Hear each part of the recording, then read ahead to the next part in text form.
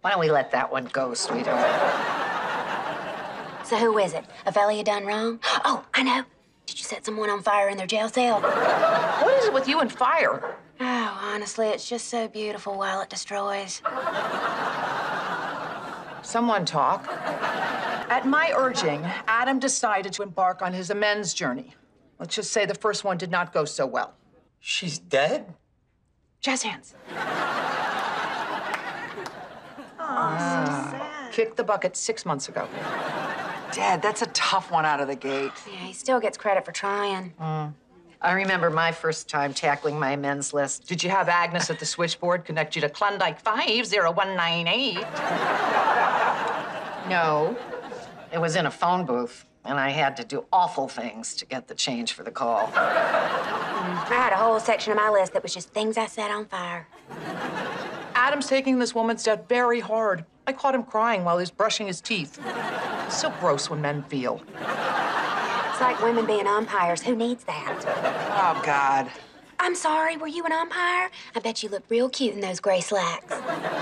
No, this makes me realize it's time I get to my big amends. You mean like not having my back with Bonnie? Why don't we let that one go, sweetheart? So who is it? A fella you done wrong? Oh, I know. Did you set someone on fire in their jail cell? What is it with you and fire? Oh, honestly, it's just so beautiful while it destroys. Someone talk. It's the steakhouse I robbed. I've driven by it so many times, I've just never had the courage to go in. Yeah, me too, but for very different reasons. The only steak that costs $4.99 is called horse. I'm starting to think it was the husband. He's too nice, and they wouldn't use an actor like that unless he murdered.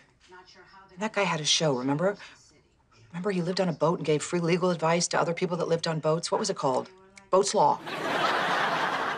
I don't really care. Yeah, well, neither did America. That's why it's not on anymore. Aren't you gonna open that beer? No, you can have it. Unless you want me to end up on a pool floaty in the Bellagio fountain, no, I cannot. Sorry.